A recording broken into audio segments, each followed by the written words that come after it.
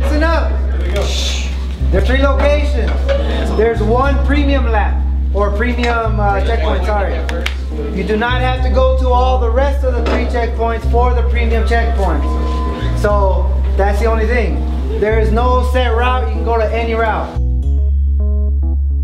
Feel pretty good. Uh, there's a good turnout for this race, so it should be really fun. Um, you know Willo is always going to throw some, you know, curveballs in there, so it should be fun. Uh, actually just came from a race earlier, so I have a little warm-up, ready, antsy, ready to go, you know.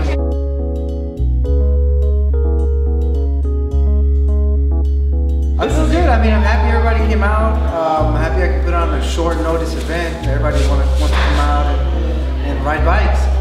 That's primarily the main reason is ride bikes. Ladies in five, four, three, go, two, one, go!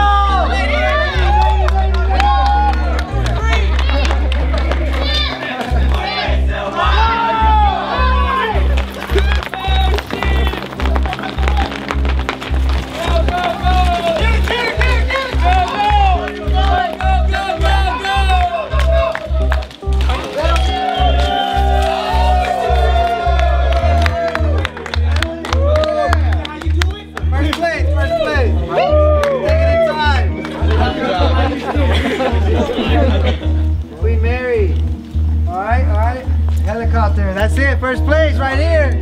Caesar. Oh!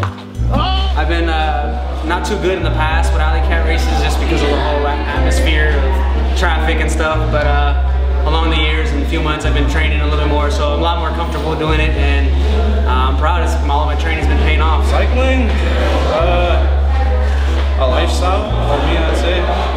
I mean, I literally, I work off of a bike. I, I'm on my bike every day. Really. Uh, you know, all my friends now, I'd say, ride bikes. Uh, I don't really talk to many people that don't ride bikes anymore.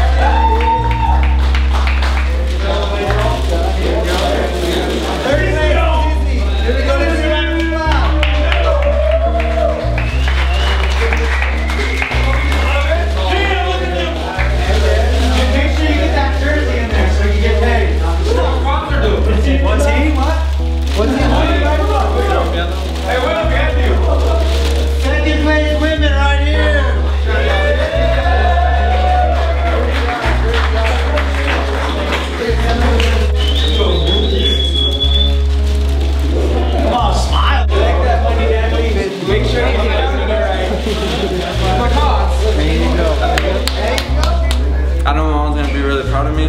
This is my city. I had to take the win. People like to ride everywhere, but as far as Long Beach, there could be a little more more cyclists out on the road. There's a lot of bike lanes, especially in downtown. But yeah, I mean, Long Beach is, is good, a good cycling community. We just haven't been doing a lot of races out here, but we hope to change that in, in the future.